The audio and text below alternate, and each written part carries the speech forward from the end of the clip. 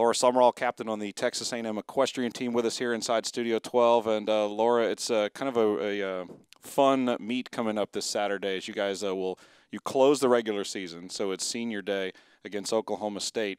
Yet you're opening a new facility in the Hildebrand Equine Complex. Uh, just talk about some of the emotions that might go. Now, obviously, you're not a senior, but the emotions that'll go into a senior day, but then also having a new facility.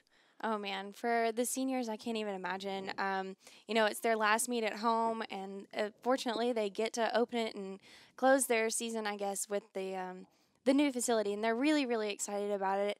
Um, I think they're a little jealous because they only get one meet, but you know, I would be too. I'm really, I'm fortunate in the way that I get to come next year and start my season off next year with the complex, and uh, I just, I'm, I'm really excited about it. It's the biggest and the best that we could ever imagine. It's better than anything we could have imagined. And that's what I was going to ask you as you travel the country. Uh, you know, schools are slowly adding equestrian, but you get to go to a lot of these venues and facilities that are built strictly for equestrian. You've been in this thing, oh, I guess about a month or so. Uh, yes, what's it like? Uh, what do you, how do you compare it to what you see elsewhere? Oh my gosh, uh, Taj Mahal was the the name we gave it early on, and I truly it is that. It's big and beautiful and spotless, and everybody's doing a really good job. And it's by far one of the best places I've ever been. I've been to a lot of facilities in my lifetime before I came to A and M, and now that I'm in the um, collegiate equestrian, I get to look at other facilities across the nation, and ours by far there's just nothing to compare it to. We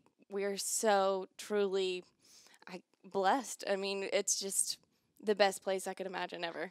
Now, uh, you know, as a junior, you have a kind of a neat perspective on it. You start out your career at the Expo Complex, which is a nice facility, but it's something you do have to share. What's it like to have something you can call your own, with your own locker rooms, with your own barn, with your own uh, arenas and competition rings and practice everything.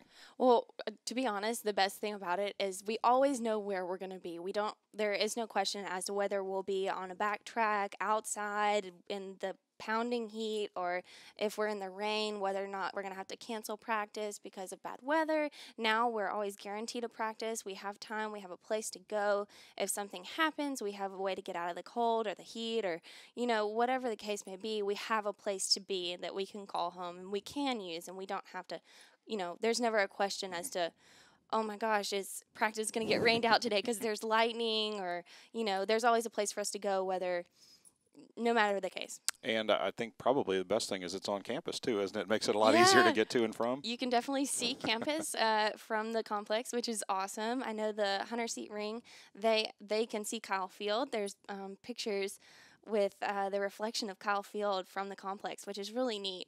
Um, the Western Ring, we uh, we have the overlook of 2818 and all the fields mm-hmm. behind that, which is really cool too. So it's just a beautiful place. But being on campus, two minutes from, you know, Reed Arena is really nice. Talk about the team's mentality going into this last meet because I think it's one of those things. If fans look at the record, they might say, "Oh, well, this team's not really having a good year," but every meet, you guys are just right there. You're within a point or a two, which I guess can be frustrating, but also has got to be encouraging as you head into a postseason where you look to take a, a conference championship and then go even further.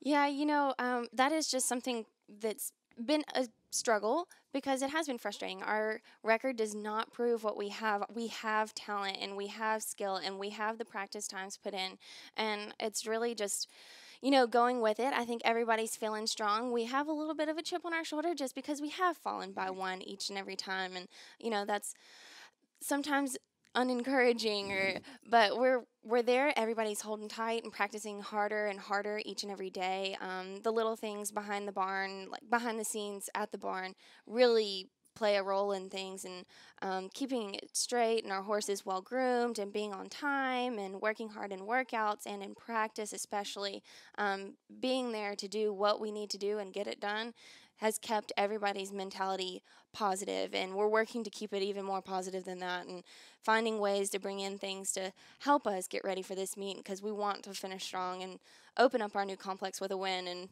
keep it that way.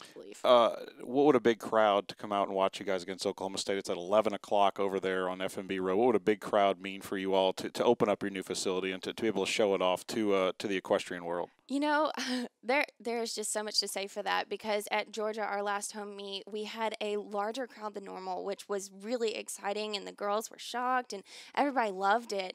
And uh, to have that again, plus even more people than we did that day, um, would just mean the world to the girls. We have two separate rings going, so we need even more people to fill up those stands, and the the more the merrier, and the louder it is, the even better. We we love it. All right. Well, appreciate the time and good luck on Saturday. Oh well, thank you, sir. All right. That's Laura Sumrall, the Aggies in action Saturday at 11 a.m. It's the home finale, but the opening of the Hildebrand Equine Complex. Hope to see everybody out there. It's at FNB Road and 2818, just on the northwest side of campus.